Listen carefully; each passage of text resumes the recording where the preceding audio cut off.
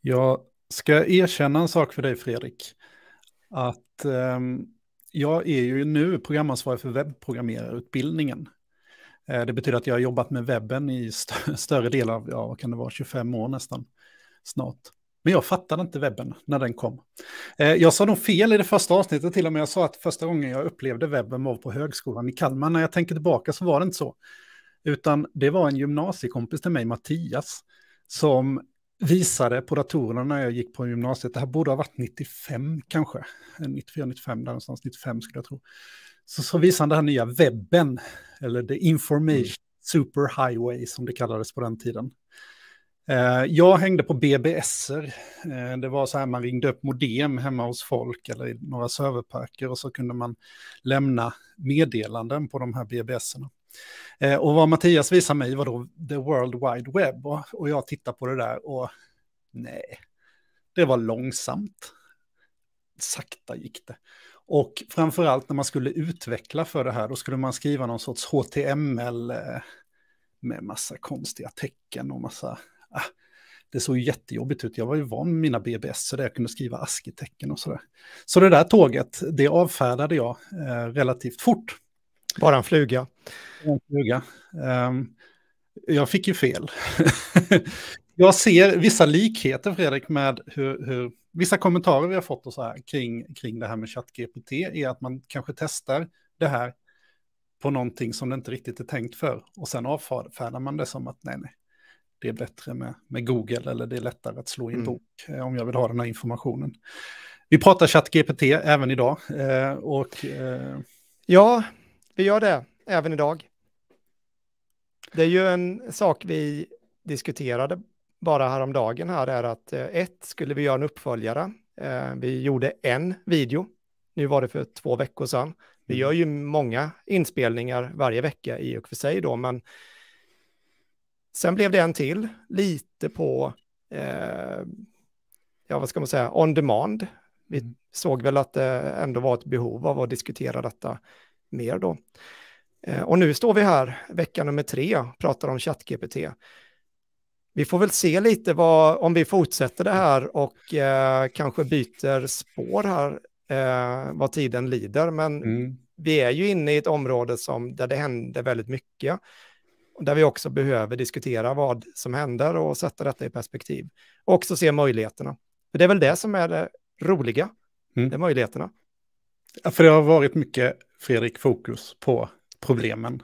Oavsett hur du och jag försöker ändå angripa det här och försöker vara en positiv röst så lik förbaskat blir man ju citerad till höger och vänster på, på någon, jag tror att jag sa här nu i någon intervju på SVT så sa jag att det är häftigt, men det är lite mm. läskigt samtidigt. Och det där blev väl då rubriken eh, lärare på universitet förskräckta då.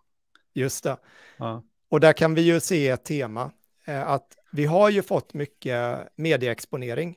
Det har varit jättekul och det tror jag, det, det tror jag både du och jag tycker är roligt mm. att vi har lyckats, eh, vi har lyckats driva igång den här debatten och åtminstone gjort så gott vi har kunnat för att vi inte ska se det som ett problem, utan vi, vi är här, tekniken kommer. Vi om några behöver vara förberedda på det och eh, se hur vi kan använda detta, för att den, den, är ju här. Men det har ju i media hela tiden framställts som, vad var den första nyhetsartikeln som kom? Det var fusk-AI. Eh, och den kan man ju tycka var lite så här eh, lite klickjournalistik över det då. Eh, och eh, även nu i förra veckan, då kan man ju också, det var också rätt mycket fokus då på fusk. Och det handlar ju egentligen väldigt lite om det, även om det är mm. där man tanken börjar. Men det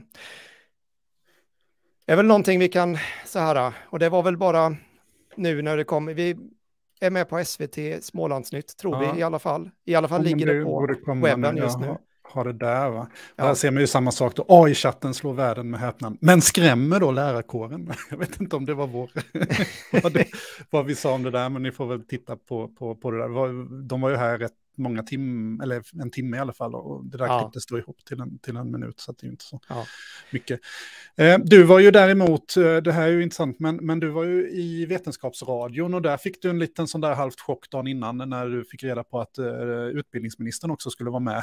Ja, jag tyckte det var, det, och nu var, nu var han ju med, fast inte live. De hade ju då intervjuat och klippt in då, så att det visste jag inte, utan jag trodde ju då att han skulle vara med. Då tänkte jag att det, jag blev lite nervös, jag får helt ärligt säga det. Mm. Jag är sällan nervös när jag har presentationer, men, men att i live i radio i P1 eh, prata om de här sakerna som, ja, det, det kan ju låta som att vi kan mycket om det här, men jag skulle nog vilja hävda att vi är nog eh, inte duktigare än någon annan på detta, annat än att prata om våra erfarenheter och att eh, försöka använda detta så mycket som möjligt. Vi kanske, det är kanske så man ska angripa problem när man vill, eh, eller möjligheter, sa jag mm. problem. ja.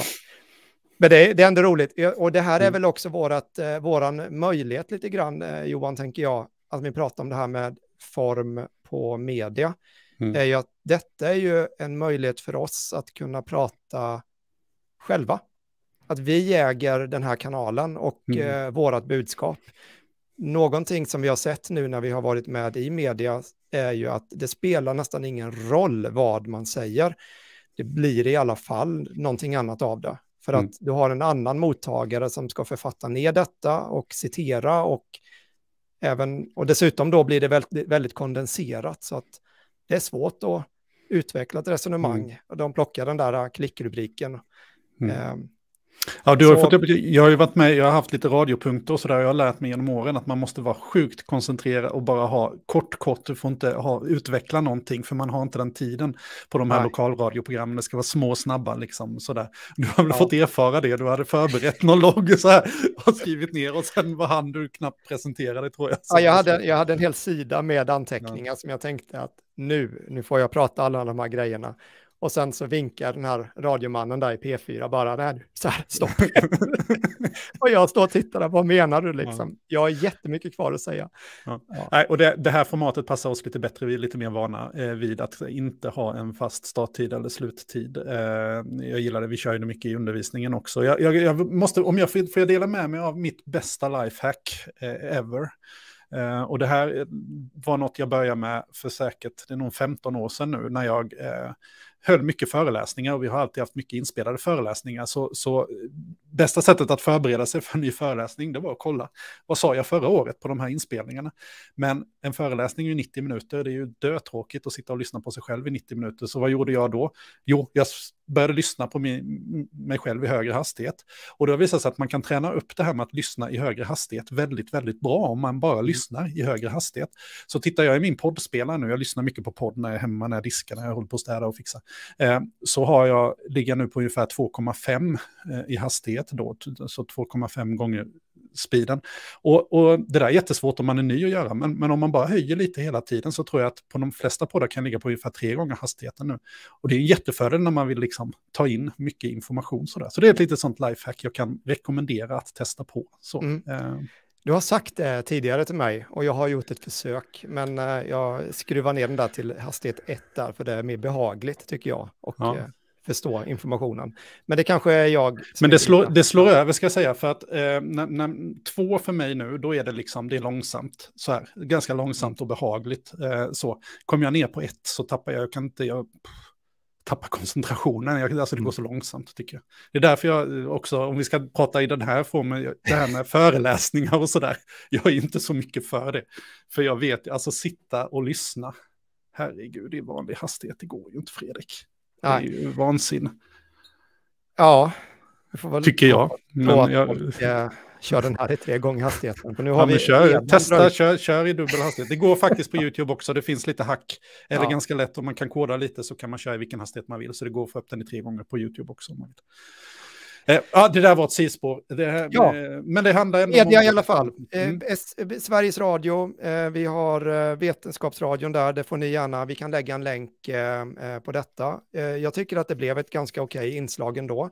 Mm. Och en av mina farhågor, jag vet att vi stod och pratade om detta i korridoren jag tror dagen innan eller så, att nu kommer vi få se att det blir en rörelse som kommer vilja stänga ner, att det kommer vara det kommer vara de som ser detta som en möjlighet och sen så kommer det också vara de som, som å andra sidan då ser det som att oj då, det här, är, det här ser farligt ut, det här måste vi förbjuda, vi måste liksom ta bort eller så.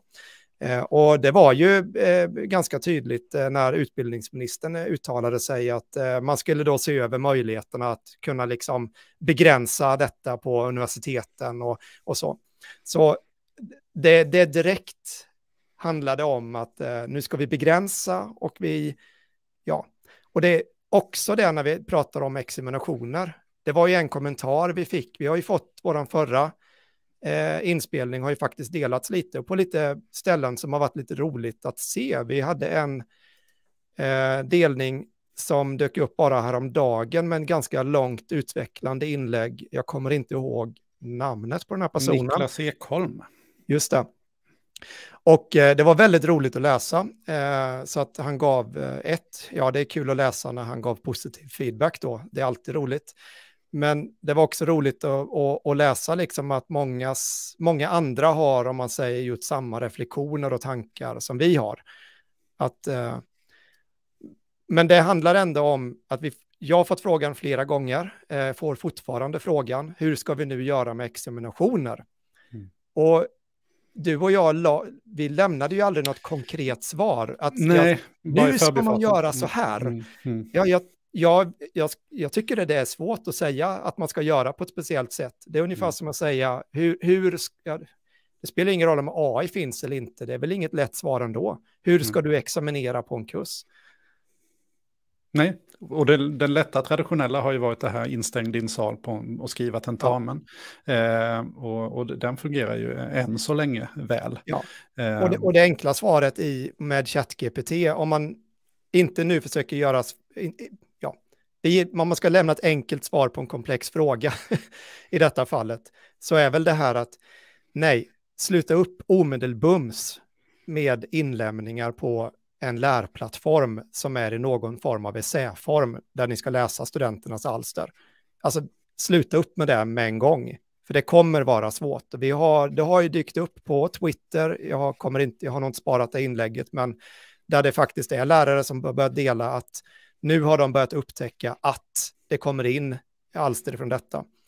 Och då kan jag säga det, kan vi på ett enkelt sätt se eh, om det är en AI som har skrivit detta eller inte? Ja och nej.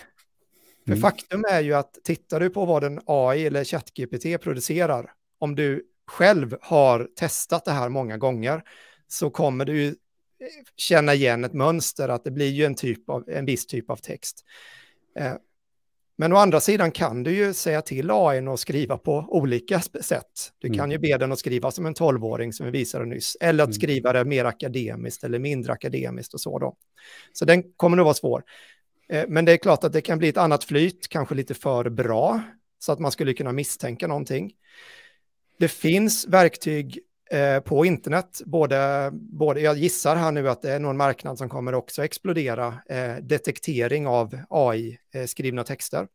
Men det finns ju redan nu öppna verktyg, så om ni googlar på GPT-2 eh, detektor eh, så finns det på Hugging Face en detektor där man kan kopiera in lite text och eh, se om den här då är kanske skriven av en AI eller, eller inte den ger en sannolikhet på det då. Och det här är är någonting jag skulle nästan kunna visa här nu, men det, hur den är att tar du en text, den korta historien här att genererar du en text, du ber den här skriva en text om, eh, låt oss säga konspirationsteorier. Eh, vi kan testa här.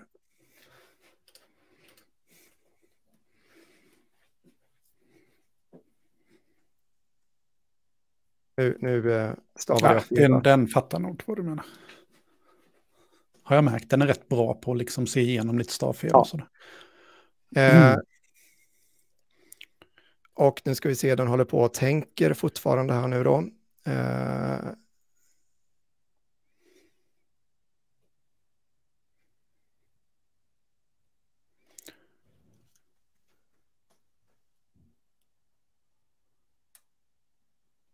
och jag väntar här nu på att jag ska försöka, in i min andra tab här nu försöker jag att gå in på Hugging Face och eh,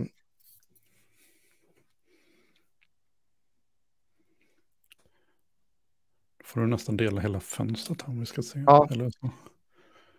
Uh, men det är, är, är, är, helt normalt här nu, demo-mode är att just den kommer jag inte in på nu här. Vi får se, den håller på att ladda här nu.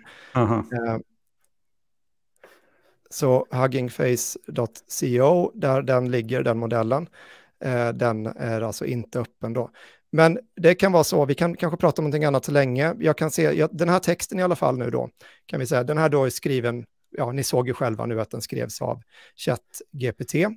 Eh, en helt okej okay text. Kan vi på ett enkelt sätt eh, eh, detektera om den här är skriven av en AI då? Och då kan jag se, om jag får igång demot här, vilket jag inte får just nu. Är det denna eller? ja, precis. Behöver jag logga in eller? Detektor. Jag tror inte du behöver logga in, nej. Var såg du den någonstans? Vad skulle jag göra? Så eh, GPT-2 Output eh, OpenAI Detector, de har en... en eh, Ska jag söka på den? Ja. ja det, jag kan lägga det i... Eh, kan lägga den i chatten till det här i ett direktmeddelande så, så har du precis den. Och den kommer då eh, eh, detektera detta som att det är en eh, text som är eh, genererad av en AI. Och nu gör jag så här att jag kopierar den här texten till dig och skickar på Slack här just nu då. Just den, den URLen var inte eh, däremot så lätt att komma in på. Nej, okej. Okay. Du hade nog rätt. Den är kanske fler ja. som har hittat den. Men vi kan se här, den kan stå där och ladda får vi se om vi, vi in då. Det står bad gateway på min här nu då. Men det, det jag ville komma till här är att det man, det man kan göra då är att ja, du kan med en OpenAI-detektor, det är ju trots allt så här att den här texten är ju då genererad av en AI och den här transformer-modellen, den gör ju sitt jobb genom att följa ja, den mest sannolika ordföljden och sen mm. continue on. Så mm. det vi kommer kunna se från en sån här är att det blir väldigt sannolik ordföljd utifrån vad den här modellen kan ge då. Mm. Så det är klart att det kommer gå att upptäcka detta. Men om du istället då tar den här texten eh, och jag kan ta den första, och nu kan jag kanske dela eh, min andra eh, skärm här då, tar jag present och sen tar jag och delar den här. Eh, och det här är bara en av många tjänster. Och det här är eh, en, en liten tjänst som heter Quillbot Paraphraser. De har en gratisvariant och det är den jag är inne på just nu, så jag har inte ens loggat in. Då kan jag klippa in en text. Nu klippte jag in endast första stycket, alltså första paragrafen här. Den här hjälper mig nu då att paraphrasa denna. Eh, ett ganska bra verktyg kan man tänka sig också för fusk som har funnits innan också. Där mm. du kan ta en text och eh, för om den och rephrasa den då. Om jag nu tar den här textstycket som jag har där puttar in det och bara byter ut egentligen första stycket, hela den här texten som den skrev, mm. då kommer jag få 0% sannolikhet att mm. det är skrivet av en AI. För då har jag helt plötsligt brutit mönstret. Mm. Och det är lite det här jag tror är viktigt att uh, ha med sig. Uh, det är att vi kommer inte riktigt kunna förlita oss på att en AI ska kunna vara duktig på att detektera om det är skrivet av en AI. Absolut, det kanske kommer vara väldigt många automatgenererade texter på internet som möjligtvis Google skulle kunna använda ett sånt här verktyg för, för mm. att på något sätt kunna ranka dem högre eller lägre i någon sökstatistik, om det mm. är skrivet av AI eller inte. Men det är väldigt enkelt för en student i detta fallet att kunna komma förbi de här verktygen som det ser ut nu. Du behöver ju inte använda den här Quillbot Paraphraser, utan du skulle ju kunna ta den här första stycket och skriva om det med egna ord. Och så helt plötsligt så, så har den här gett en annan. Nu, ja, precis, nu, har du, nu hittar du den som jag, eh, nu har du hela den texten som jag la in, mm. va? Mm. Det står det predicting där. Eh, och eh, jag kommer gissa att den här kommer då slå eh, ut att den kommer vara fake. Den kommer alltså stå eh, hela vägen ut till höger här då. Den går väldigt, väldigt sakta, så det är som du säger, den kanske är väldigt många som är inne på den här just nu. Mm, mm. Vi kan se om vi får något resultat. Ja, det står det dessutom GPT, output, GPT-2 Output Detector Demo, men mm. eh, det har ingen betydelse i det här fallet. Den verkar ta även det som är skrivet från ChatGPT. Mm. Um, Precis, men, men, men, men lösningar då, för vi, vi landar i problemen. Alltså att, att det är ett problem, ja det, det kan vi diskutera och, och, debattera. Och som sagt tidigare så vi har haft det här problemet hela tiden med spökskrivare och vi pratade om sist om demokratisering av fusk egentligen. Eh, mm. Eh, jag inser ju att eh, vi, vi kommer att behöva göra om mycket på den utbildningen som jag är ansvarig för, sakta men säkert. Mm. Men, men mycket där handlar om muntliga examinationer. Vi har undervisat på distans i, i 20, över 20 år nu. Och, och, där har man ju alltid haft det här problemet med, med tentamen. Vi har inte ens krav på fysiska träffar på plats. Så att vi, vi kör ju muntliga examinationer i väldigt, väldigt hög grad. Och, och än mm. så länge så fungerar ju det bra. Det kan man väl se på sikt med eh, att det också kan bli ett problem. Men, men då kanske vi är eh, x antal år bort, så vi behöver inte tänka på det just nu. Men, Precis. Samtalet. Vi är ju tillbaka på, på grunden där, är att eh, vi, vi har ett verktyg och det här gör egentligen bara att vi, eh, det är som en katalysator för något problem som vi har haft hela tiden. Mm. Eh, och en katalysator är ju en bra grej om vi vill få en kemisk process att gå snabbare. Och i detta fallet så är ju detta en sorts katalysator då för att eh, kunna förändra saker inom utbildningsväsendet som egentligen inte har förändrats tillräckligt snabbt. Eh, och det är där vi är nu. Ser man det på detta sättet så blir det ett helt annat ljus än att se det som ett problem, utan det är en mm. möjliggörare då. Mm. Eh, Sen är ju det här med hur vi ska forma om utbildningen. Vi är inne på en ännu större fråga här. Hur, hur många timmar hade du på dig här nu? Det var... De, Klockan börjar bli sent, den är, tio över sex. Marknaden ser ut. Vi kanske sparar mm. det längre fram här då. Mm. Men um, Nej, alltså det, det, är en jättefråga och som jag har landat i eh, rätt. Alltså jag, jag går från hopp, och för, hopp, från hopp till förtvivlan till hopp till förtvivlan eh, dag ut och dag in. Jag måste ändå mm. berätta lite här på tal om att vi hade eh, lite kommentarer och sådär eh, tidigare. Jag vill lyfta här en, jag, och nu får du rätta mig här då om jag har fel, men jag miss, vad jag misstänker är en gymnasielärare, Jojo Måndag, som har kommenterat och också länkat, kan ni hitta då på ett av våra tidigare klipp, länkat till en egen inspelning som han gjorde då där han berättar om sina elever och hur de jobbar med det här och hans upplevelse. Och det är så roligt, för jag känner igen mig i honom det här att huvudet nästan sprängs, att man bara, nej men herregud, vad är det jag har, ser framför mig? Jag kan inte förstå det här. Och, och jag gillar också, han, han, han undervisar i 3D och Blender som är en 3D-teknik. Och ja, då kan du använda eh, ChatGPT till att att skapa 3D-modeller, för du talar om för den att ja, skapa en eh, modell av boxar som ligger ovanpå varandra på ett speciellt sätt och gör detta mm. i eh, Blender. Så får du ut ett skript som du klistrar in i Blender och så har du en 3D-modell som du skulle kunna printa till exempel på en 3D-printer. Mm. Jag testade och sa till den att ja, gör det, men lägg till en billig bokhylla också. Absolut, jag lägger till en billig bokhylla i din 3D-modell. Eh, nu eh, blev det inte en bokhylla av det, men det blev en fyrkantig box med dimensioner som eh, efterliknande billig bokhylla. Eh, Ja. ja men det, är, det, är kul, det är så kul att se hur, hur, hur många pushar de här limitarna, liksom, eller pushar ja. gränserna hela tiden. Um, men och... i, stora drag, eh, det går ju att filosofera om, om teknik och, och, så, och det är, väl, det är väl väldigt kul att göra. Det roliga med att filosofera och tänka framåt och sånt, och det är ju att alla kan ju vara lika stora experter.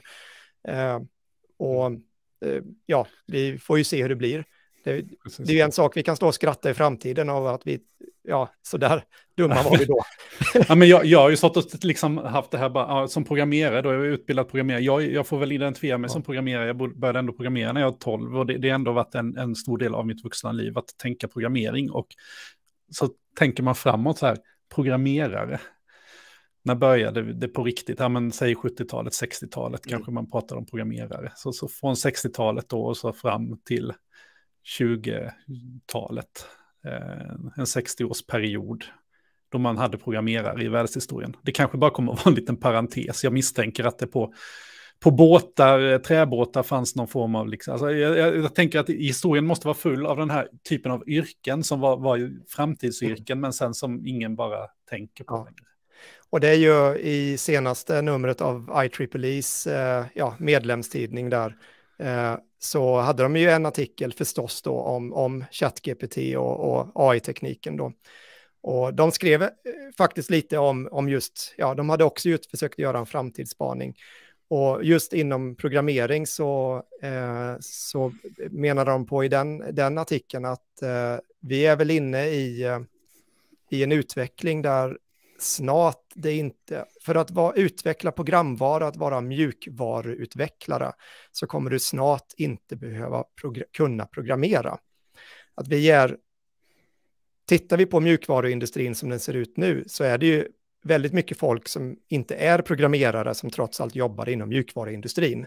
Eh, så är det ju. Alltså du har ju alltifrån de som, om du gör spel så är det väl en hiskelig massa folk som håller på med storytelling och mm. design och, mm. och sånt då. Men eh, snart så kommer du kunna alltså utveckla mjukvara utan att vara programmerare. Detta har ju varit synonymt innan. Det går inte att vara mjukvaruutvecklare utan att vara programmerare. Mm. Men vi är nog, alltså mm. tekniken nu gör att vi kanske är där.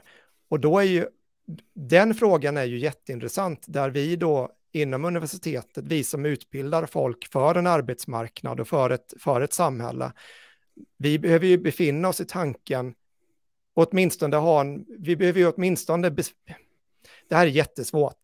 Alltså hur mycket traditionellt ska vi göra och hur mycket framtid ska vi göra? Och den där framtiden mm. kan ju vara helt tokig mm. Eh, om vi riktar oss fel. Men om vi inte befinner oss i den här tanken, då blir vi ju helt irrelevanta till slut då. Mm. Um, men vi måste... Alltså, Vad behöver kompetens? Alltså, Mats här, en kollega, han, han, har ett favorituttryck tycker jag. Liksom, vi ska inte måla fan på väggen, men det kan vara rätt smart att välja färg. Och, och, och det är väl lite det du menar, att liksom, ja. vi kanske ändå ska ha burken redo. Liksom. Vi, ja. så här. Eh, och, och, det är klart, jag sågar ju i princip av min egen gren här nu om jag säger att nej, men programmerare som vi känner idag, det kommer vi inte behöva i framtiden. Samtidigt så får man väl, och det var den här Niklas eh, som delade den här artikeln, han skriver det också, att du och jag kanske har fångat upp det här just för att vi är programmerare. Eh, och vad menar jag då? Jo, men som, som programmerare och utvecklare är man ju van vid att bara, haha, titta den här nya tekniken som gör mitt eh, jobb helt eh, förstört framöver, den är jättecool. Ja. Så här. Alltså, vi, ja. vi är vana vid ett snabbt och högt tempo där, där nya tekniker ja. ersätter varandra varje år. Och det, det har vi också i utbildningen, att vi hela tiden, det, det är hela tiden nya tekniker som kommer in, nya programmeringsspråk mm. och, och, nya paradigm. Som, som liksom, här pratar vi inte paradigm på, på, på, på eh, hundratals år, utan här pratar vi ett paradigm på, på, på två, tre, fyra år. Och sen så är det helt plötsligt ett nytt eh, paradigm som gäller. Så mm. um, det, det, är kanske därför vi, vi, också fångar upp den här bollen. Då.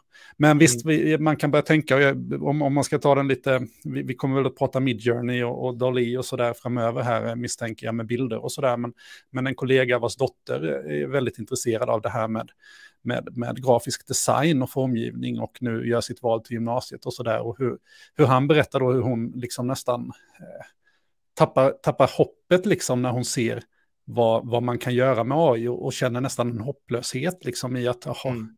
varför ska jag utbilda mig till det här när vi ändå har datorer som kan göra det här så bra? Och det är också lite sorgligt liksom att någonstans så finns det nog ändå plats för oss, men risken är ju att allting som går att datorisera eh, också eh, kommer att kunna tas över av en AI. Jag tror du hittade något citat på det där var från en av utvecklarna här på just OpenAI som sa att inom fem år så eh, Ja, du, precis. Du får, du får parafrasera det där själv. Ja, jag får göra det från huvudet här då, för jag, det var ju från eh, den här podcasten, eh, Reinforcement Learning Podcast, eh, som ligger där. Och eh, en av ingenjörerna, Sam, jag kommer inte ihåg efternamnet, eh, intervjuades i en ganska eh, väldigt trevlig eh, podcastavsnitt faktiskt, eh, där de också gick in på lite mer teknik bakom och utvecklingen just av, av de här modellerna.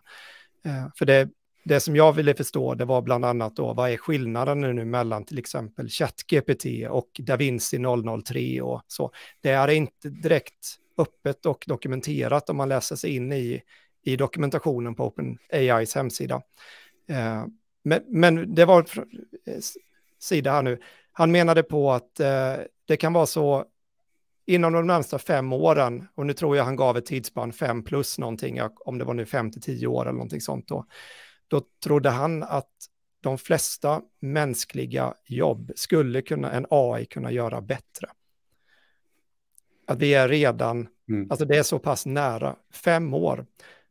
Och då vet vi ju inte, men det, det kanske går snabbare eller långsammare. Ja, vad vet jag. Mm.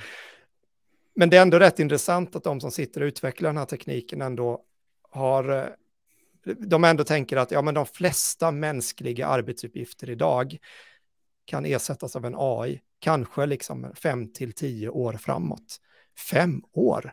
Ja, jag har inte hunnit gå i pension till dess i alla fall. Inte Nej. du heller Johan. Nej. Det är ganska nära i tiden. Mm. Hur snabbt går inte fem år? Det går rätt snabbt. De studenter som börjar nu, om de väljer att läsa en magister, de, inte, de går, går ut då. Ja. Mm. Så, ja, det här med eh, hopp och förtvivlan liksom. och, det, och, och, jag tycker ja. du gör det rätt roligt där också i Vetenskapsradion, just att du fick slutordet eh, i den där, eh, det var väl ingen debatt, samtal får man väl säga. Eh, men ja, du fick men ju slutordet. slutordet. Ja. ja. Och vad sa du då? Ja, jag kommer inte ihåg. Vad sa jag för någonting? Jo, att... men du sa just det här att, att det, det, är så komiskt att det vi fokuserar på, det är fusk. Som den här liksom ja. lilla, allting handlar om hur fuskar man när, när det är den lilla, lilla, lilla. Ja. I, I vår lilla ankdamm så kan vi stå och diskutera fusk. Men på det stora hela så, så får vi väl ändå återgå till vad vi inledde den här serien med. Och det är ju liksom att det här förändrar allt. Och där får ja. jag väl ge dig lite kritik då, för du var lite feg där i, i Vetenskapsradion. För du fick den frågan då.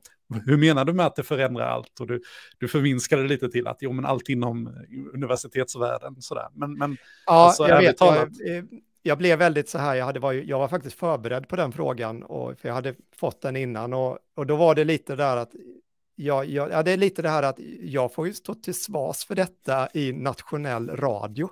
Mm. Ja, men Fredrik, du sa ju att... Ja. Och då blev jag nog lite rädd. Alltså, vad menar du med förändrar allt? Ja, det går ju att spä på, precis som vi gjorde nu då, att ja, det här är ju stort om vi nu ser det ur ett, mm. ur ett samhällsperspektiv. Men ja, jag blev lite, jag vågade mm. inte säga för mycket.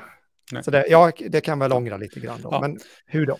Ja, men vi, alltså tanken är Fredrik ju att vi kommer att fortsätta och, och, och, diskutera på det här formatet har vi ju sagt. Vi får se några veckor framöver ja. eller hur vi gör. Eh, det är ingen stor insats för oss att göra det, utan ja. vi bara får ut oss lite tankar här, vilket är skönt. Det kan bli lite pladdrigt ibland, ibland kommer vi att visa lite mer konkreta exempel och sådär. Mm. Um, det finns mycket att prata om. Jag har ja. lite uh, sugen på vissa gäster som skulle kunna dyka in så det inte blir bara du och mm. jag. Och sådär. Precis, och eh, jag är nog med i någon AI för ledare podcast här framöver också. Det blir också Sunnet har ett webbinarium där du och jag ska medverka den 26. I första klockan tre, I så det kommer komma, då får man hålla lite koll på Sunnet tror jag. Så kommer ja. det ut anmälningslänkar där om man är sugen på att vara med och diskutera där. Och innan vi slutar, en, en, mm. vi, måste ju välja, du, vi måste ju nämna det här med profet. I sitt eget hemland. Ja. eget hemland.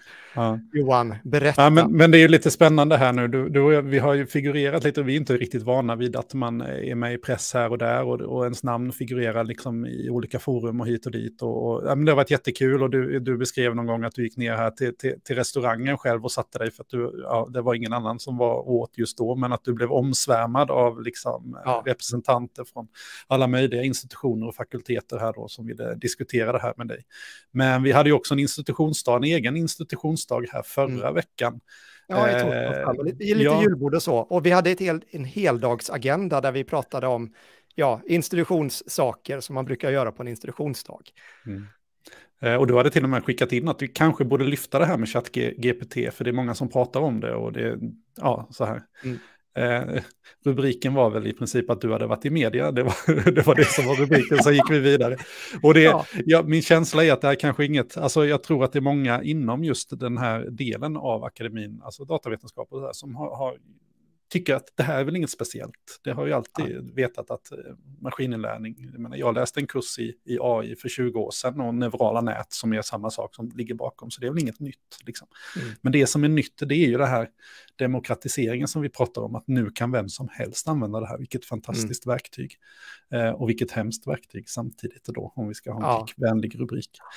Men det har vi ju ehm. sett ett väldigt eh, stort eh, intresse och egentligen ifrån andra fakulteter och andra institutioner på vårt eget universitet. Att, eh, alltså kemi och mm. biologiinstitutionen och Skog och trä var jag på. Skog och trä och mm. högskolepedagogiska eh, sektionen har hört av sig. Och det har varit en, ett väldigt stort intresse internt då. Eh, men ja, från vår egen, eh, ja, så det är in, inte lika mycket. Så där mm. får man göra Nej, vad man vill med den informationen. Precis. Ja. Um... Jag funderar här, jag tittar lite i våra lite show notes som vi har här också där med, med grejer som man skulle kunna ta upp. Det finns så mycket där, men jag tänker att vi får lämna det till en annan dag, för annars kommer det här bli alldeles för pladdrigt kanske. Ja, det är risken. Mm. Och jag står fortfarande här nu och den står fortfarande och väntar på... Mm, min gör eh, också prediction, prediction. Ja, så att den har fastnat om jag tittar eh, Nej, jag testade det i eh, förmiddags och då gick det alldeles utmärkt. Det är väl fler som har hittat just den här. Mm. Jag kan också nämna lite tips. Det finns en, det dyker upp så mycket nya roliga verktyg som bygger på AI nu. Jag tror att vi kommer nog kunna fylla hela avsnitt ganska snart med AI-verktyg. Mm. Eh, och kan, vi kan väl ta det som en cliffhanger. Jag har ett, ett gäng verktyg som jag skulle vilja dema som handlar om hur kan det, vad har vi för verktyg som kan hjälpa till med, med forskning? Mm. Eh, sökning av litteratur och eh, att hitta runt i referenssystem och, eh, och de bitarna. Så skriva är ju en sak, det har vi ChatGPT där som mycket väl kan användas till det. Eh, och sen ett verktyg som vi skulle kunna eh, länka till som jag tycker är jättebra, jag hittade det bara igår och det är ju ett Chrome extension som heter ChatGPT History. Eh, och eh, den, eh, eh, den gör egentligen så att dina promptar och outputs sparas då lokalt på datorn då när du sitter i eh, och du kan exportera det lite enklare sen. Så nice, varför har du inte sagt det till mig? Jag sa ju det nu. ja, det är bra. Ja. Du har ju haft en hel dag på dig. Ja, så precis. Jag, så, eh, jag ja. tror att jag säkert har tipsat i något ja, eh, forum där. Ligger på någonstans på slakten. Ligger där. Eh, och jag, jag, tror att vi kommer se massor, det kommer vara en explosion av kreativitet som föds ut av detta. Och det vi mm. kommer se är ju då en ytterligare, nu, nu kan vi börja se en möjlighet att automatisera intelligens. Som, vi ska nog vara försiktiga och kalla detta intelligens. Mm, mm. Det kommer vara någon som går igång en på det. En artificiell intelligens. Exakt. Mm. Men och, vi behöver inte gå in på hur smart eller inte, eller vad det, men det vi kan se är ju att vi kan ju faktiskt se att ja, men vi, vi kan börja automatisera saker som vi inte har kunnat, alltså det har behövt vara en människa för att kunna skriva texter innan. Liksom. Mm. Nu kan vi börja göra det. Och jag tror vi kommer se en explosion av nya, nya saker som vi inte har någon aning om. Vi skulle kunna tänka oss att din nya träningsapp som du har på din iPhone har en inbyggd AI i sig och kan ge dig mycket mer individualiserat träningsprogram och ta in data från olika... Och helt mm, plötsligt, mm. den här typen av tjänster tror jag kommer liksom krypa in i en väldigt många olika produkter och tjänster. Och det första jag tror vi kommer se är ju otroligt många sådana här webbaserade appar eller tjänster som är duktiga på en sak. Mm. Att jag vill ha en, ett, ett, ett, program som hjälper mig att skriva mötesagendor. Eh, I nuläget vet jag inte, jag tror inte det finns, men det finns ingen tjänst online som summerar YouTube-videos eh, med ett klick. Eh, helt övertygad om att det skulle vara folk som kan tänka sig att betala för det. Mm. Och nu vet, nu håller jag ju på att bygga det i och för sig, men inte för produkt utan för vårt eget ändamål. Men det är mycket av de här typerna av tjänster som jag tror, ja, men det kommer komma väldigt mycket tror jag framöver här nu. Mm. Eh, så jag tror vi kommer få se väldigt mycket roliga nya saker. Mm. Eh, och det är bara att titta på vad, vad har hänt i App Store och Google Play och sånt här nu efter Midjourney, DALI och Stable Diffusion har kommit. Vi ser en explosion nu som utan dess like av sådana här AI-genererade avatars. Mm. Ja, du har en sån. Ja, jag har en sån här till och med. Ja. Sen, Men det här är ju, ja, och man kan tycka att det är plojgrejer och mycket kanske är plojgrejer. Eh, men vi kommer ändå se mycket av det här och vissa grejer kommer kanske sitta kvar liksom och, och skapa nya, nya möjligheter. Jag tänkte bara skicka med två tips. Jag bara slog mig här nu att det kan vara, kan vara lite kul att ha lite, lite grejer att testa. Och då får jag eh, först och främst referera Martin Östlund som jag pratade med här, som är en av eh, eh, lärarna här på, på LNU, som eh, tillsammans med studenterna då, eh, där studenterna ska skapa intervjuer och ut och intervjua, eh, nu vet jag inte överhuvudtaget vad det handlar om, men det, det är någon form av studie som bygger på intervjuer i alla fall. Och då har studenterna fått jobba med ChatGPT att finslipa sina intervjufrågor. Det vill säga att de testar intervjufrågorna på ChatGPT som, och ser, liksom, ger den de här svaren i, åt det här hållet jag vill ha eller liksom mm. missförstår den frågan och sådär. Och så har de kunnat jobba om de här intervjufrågorna så att de är liksom bra innan de går ut och ställer dem. Det är ju ett ganska smart sätt att, att jobba som, som student. Eh, I lördags så behövde jag laga lite mat och så hade jag inte så mycket hemma. Och vad testade jag då? Ja, men bara skrev in ingredienser, alltså så här, bas, inte basingredienser som salt och sådär, men liksom så här, ja, men det finns lite kyckling, det finns lite ris, det finns lite detta, detta, detta, detta och lite grönsaker frysta och så där. Och så ja, föreslå, då fick jag fem rätter och så frågade jag, men vilken tycker du, vad skulle du rekommendera? Ja, men då rekommenderar jag grönsaksrisotton, för den eh, är perfekt om du får besök så här en lördagkväll och eh, eh du inte vet om gästerna är vegetarianer så kan vi gå på något helt vegetariskt. Då. Ja, har du något vinförslag till det? Ja, men då tycker jag du ska köra med ett torrt vitt vin som är... Mm. Så fick man det också. Men det, det är lite kul sådär. och, och bara labba runt med. Så att, var inte rädda att prova den i olika situationer. Det behöver inte bara vara i professionen. Det kan vara vilken situation som än dyker upp. Mm. Och det var också nämna det att det händer ganska mycket... Eh, oj då, nu ramlade den ut. Eh, det händer ju ganska mycket med... Eh, eh, ska vi se om jag förlorar ljudet här nu. Ja, det vet Ja, nu hör jag det. Hör dig, ja. Men det hände ju ganska mycket med ChatGPT och bara två dagar sedan, eller tre dagar sedan var det kanske, så kom det ut en ny preview då, så det kom en, en det hände ju lite mm. grann med den här modellen också. Mm. Um, så. Men vet du vad, vi har ju pratat jättelänge nu och uh, det kanske, eh, det kanske Jag tycker det räcker så. Ja. Men vi kanske ses och hörs eh, en annan gång. Om inte annat får vi väl önska alla en riktigt god jul och ja. kanske gott nytt år. Vi får väl se, vi kanske dyker upp i mellandagarna, vem vet. Ja, vi får se. Hej. Mm, hej.